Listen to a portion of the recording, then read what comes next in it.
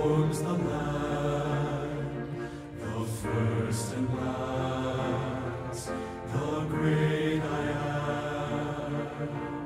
I am come to set you free.